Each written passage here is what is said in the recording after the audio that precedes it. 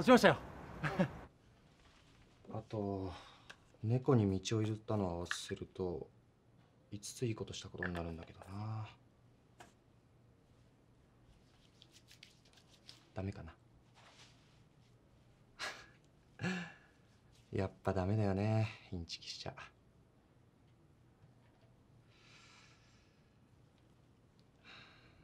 いいことするのって。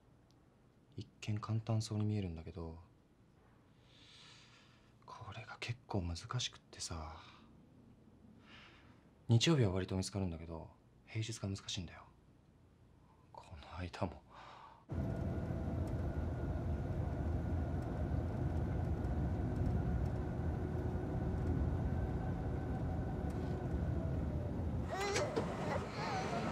どうしたの？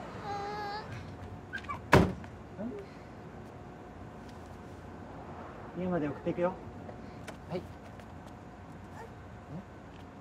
ほら乗りなよ。どうしたの？遠慮しなくていいから。あ。ああの。